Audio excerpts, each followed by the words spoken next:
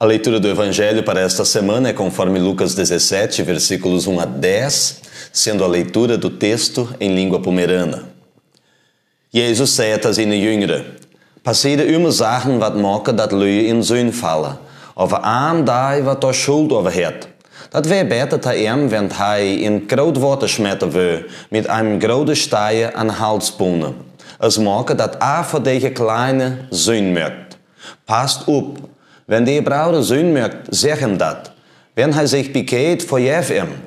Wenn uh, je die so auf einmal über Tag sehen mögt und jedes Mal kommt und sagt, ich bekehe mich, dann verjef. Der Jüngere hebben dem Herr verlangt, verstärk unser Glaube. Hij hat Antwort. Wenn ihr Glaube so groot wäre als ein Mostardesaat, dann könne je tegen viele Feigenbusch sagen, riet die uit und plant die in groot Water rinnen und hij deed ook heute. Jesus hat gesagt, macht so, als wenn er für euch eine Knecht hat, was in der Ross arbeitet, oder passt der Shop up. Wenn er vom Kamm kommt, denkst du wohl sagen, komm rasch und zet dir an Tisch. Gra nicht. Aber du sagst ihm, mach mir Armbrot recht, trägt die an und drach mir das Erden up, solange ich erd und trink. Nachher kannst du eten und trinken.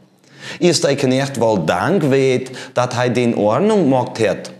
So muss het mit juch sein. Nachher, dat je alles gemacht hebben wat juch anordnet worden is, zegt, wir sind Knechte, wat keine weet hebben, weil wir hebben bloß unsere Arbeit gemacht. Wer hier ist der Bibeltext, dat er weg.